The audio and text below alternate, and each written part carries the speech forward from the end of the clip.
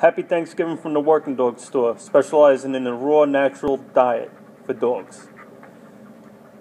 Tripe, beef, bones, oxtails, chicken, chicken backs, trachea, goat's milk, organ meat, and more.